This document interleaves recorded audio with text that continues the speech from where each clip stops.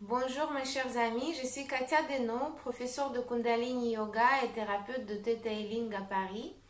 Et aujourd'hui, je voudrais vous partager la méditation très puissante de Kundalini Yoga, qui est la méditation pour la prospérité. On va utiliser le mantra pour cette méditation.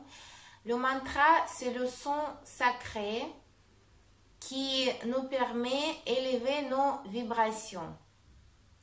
Et là, on va utiliser le mantra Har qui se traduit comme potentiel créatif divin qui réside en chacun de nous. Nous avons tous ce potentiel quand on vient sur la terre de créer vraiment les miracles, de réaliser notre nature divine ici sur cette terre. C'est pourquoi on est venu ici. Mais avec le temps, on oublie qui est notre vraie nature. Et euh, avec le temps, avec les expériences traumatisantes, avec des croyances limitantes, avec des, des émotions négatives, comme par exemple la peur ou des autres émotions, on se déconnecte au fur et à mesure de cette vraie nature. Et euh, on peut se reconnecter en faisant le chemin spirituel, on peut se euh, reconnecter et se souvenir qui on est vraiment. Et cette méditation va nous aider à d'établir cette connexion et d'activer notre prospérité dans tous les sens. On va utiliser la position spéciale de main. On va rapprocher les paumes des mains sur les côtés et euh, les paumes des mains regardent vers le ciel.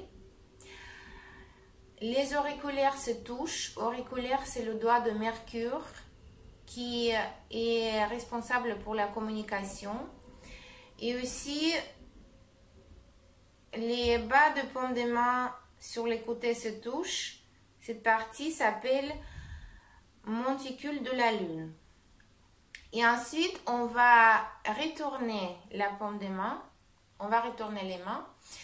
Et euh, on va toucher les index. Les index se touchent. Les index, ce sont les doigts de Jupiter, qui est la planète d'ouverture, des possibilités, de prospérité. Et euh, il faut aussi faire attention que euh, les pouces se croisent et le pouce droit est sous le pouce gauche. On va prononcer notre mantra Har en faisant les mouvements comme ça.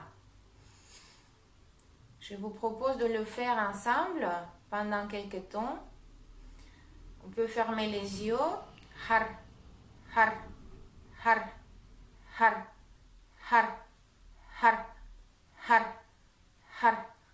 har, har, har, har, har, har, har, har, har. Restez connecté à votre respiration. Voilà, mes chers amis. Vous pouvez faire cette méditation de 3 à 11 minutes. Ce qui est important, c'est de le faire régulièrement, de 21 à 40 jours, ou même plus si vous voulez. Mais Yogi Bhajan, qui a amené Kundalini Yoga à l'Occident, disait qu'il ne faut pas le faire trop longtemps, sinon vous allez devenir trop riche. Voilà mes chers amis, je vous souhaite beaucoup de lumière intérieure, de partager cette lumière autour de vous, de vous souvenir de votre potentiel créatif et de créer les miracles dans votre vie. Satnam et à bientôt. N'hésitez pas à partager ce vidéo avec vos amis, de liker la vidéo et de vous souscrire à ma chaîne YouTube. À très bientôt. Пока!